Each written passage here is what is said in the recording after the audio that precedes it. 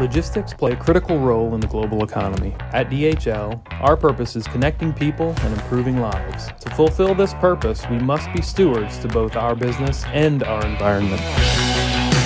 With that, we've set very ambitious goals to reduce our global carbon footprint. To achieve these goals, we must deploy zero emission vehicles like BYD's Class 8 electric tractor. We are now deploying four of the BYD 8 TTs to transport shipments between our LAX gateway and Los Angeles facilities, enabling DHL to reduce CO2 emissions by over 300 metric tons per year.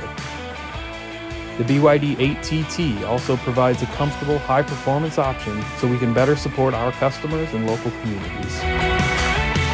DHL is committed to a healthy environment and we must act to preserve our future. With the opportunity to shape that future, we will always choose to lead.